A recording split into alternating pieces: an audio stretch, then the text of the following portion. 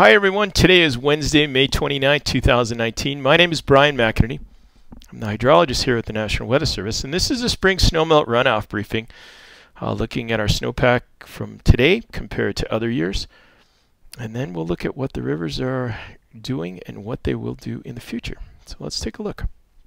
So when you look at snowpack, this is the northern Utah with the Uintas and the Wasatch on May 29, 2019. This is today, and this is the inches of, of water equivalent across the mountains. The darker redder indicates more snow, more water, and that's what you want. And this is as of today. But let's do this. Let's compare this to other years, other big years recently. We'll do 2011 and we'll do 2017 for this view. So let's take a look at this compared to 2011. 2011 is bigger. Let's go back. And then here's today. Here's 2011. So you can see it was bigger then. But what happened in 2011, it stayed cold all through the spring, all the way through June. And the melt didn't have a lot of energy input and it it just kind of petered out because of lack of snow with some big volumes of water, but didn't get really high peak flows because it didn't get hot. Now let's look at 2017. 2017 had less snow than we have today. More, uh, less than uh, today, but far less than 2011. And this didn't have flooding either. This had just high peak flows because it melted out early. So when you think of snowpack volumes and you think of how what causes flooding, it's really how it comes off is important. So now let me take your attention to Big and Little Cottonwood, and this is by Salt Lake County. This is today, but this is 2010. This is the snowpack back in 2010 on this date. And if you remember, and you go back to this date, what happened in a week by June 5th, 2010, this amount of snowpack produced a flood in uh, the Murray area and all along uh, Little Cottonwood, caused all sorts of problems because what happened is in late May, it was very wet and very cold. It laid down snow on south-facing aspects in low elevation, and and then it got hot, and so it melted very fast. It was isothermal because it was a shallow snowpack at those low elevations and south-facing, and it all came off at once. And the flood was only about three days, but it caused over a million dollars in damage. Now the question is, how does this snowpack compare to this year? So this is 2010 on this date. This is today. You can see, we'll go back, and here's today. It's bigger. So we've got a bigger snowpack.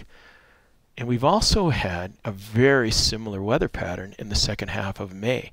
We've uh, added snow, added snow water equivalent to the snowpack. It's on south facing aspects, it's at lower elevation very similar to 2010, and that's why I'm comparing these two years. And the question is, is it going to get hot and produce a, a short duration minor flood? Well, minor wasn't minor for the people along Little Cottonwood, but in a localized area. Uh, so we'll see. So if you look at stream flow, this is kind of how it looked. So on the axis, you've got on the one side the feet in the river at this point, the stage of the river, how it goes up and down. The associated flow in, in cubic feet per second, think of a, a basketball as a cubic foot. But that's about the right dimension. And one basketball going by you every second is one CFS, or cubic foot per second. So the river was flowing at roughly 57 cubic feet per second. And this is in the upper areas of Weber River near the town of Oakley. Um, and then it started to rise. And it rose, and you'd see it go up and down. Well, anytime it went down, it's because it got cold. And we had an optimum melt scenario in April. It got warm, got cold, it got warm, got cold. And it would stop start this melt process, so it couldn't generate a 24 hour melt engine. So the flow stayed manageable. Similar to those kind of uh, shades behind there, that's what it should do, or what it is expected to do, the climatology of the river. But now you see, as of today, it's going to get warm. We're going to warm up and we're going to continue to warm all the way through June 6th. And that delay in the melt, what that's done is uh, snowpack that we should have melted in the second half of May. We stored, we added to it. Now we've brought it into June, where the high in Salt Lake is actually 10 degrees hotter than it, you would expect in May. So now we've moved into the hotter part of the season. The sun's angle is higher in the sky, and we've got all this extra snow at low elevations and south facing aspects. And what that's going to do, it's going to fuel the rivers up to June 6th and beyond that at very high levels, dangerous levels, if you're going to get near there. If we look at the Provo, and this is the headwater areas up in the Uinta Mountains near the town of Woodland, above Francis, uh, the blue is the observed, and you can see it had some pretty good melt scenarios, but before it got too far, before it ramped up, it would get cold, it would shut off, it would ramp up, and then it would shut off dramatically in the second half of May. Well, now we're going to exceed bank flow, and that's roughly going to happen around the 2nd of June. And that doesn't mean a whole lot in this area because it's a very wooded area.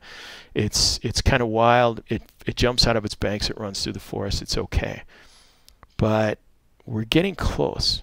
And when you look at Little Cottonwood, it has a very similar scenario. We're going to have hotter temperatures. We're going to have, we did have um, an accumulation of snow at low elevation, south facing aspects. So the feeling is we're going to get close to some pretty, uh, you know, kind of flood like levels. Nothing dramatic, but some nuisance flooding. And then, depending on how hot it gets in the second week of June and how much snow we have left, it could exceed flood stage or flood flow in the case of Little Cottonwood.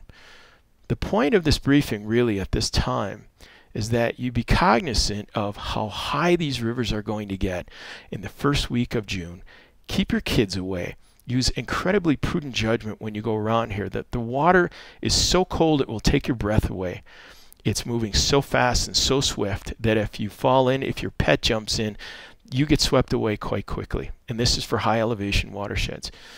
Anything like the Logan, um, with the Weber, the Provo, American Fork, Big and Little Cottonwood, anything off the Uintas, all of these waterways are going to be incredibly dangerous. Watch yourself and watch your children especially. So we'll do another one of these uh, about the latter half of the first week of June, maybe the fourth, somewhere in that range, and we'll see where we are. But understand, we're ramping up. The flows are going to be violent, they're going to be cold, and they're going to be raging. And depending where we go from there, if we have bright sunshine and additional heat, they could go higher. So we'll just leave it at that. This is Brian McInerney. I do appreciate taking the time to listen to this, and we'll go from there. Thank you.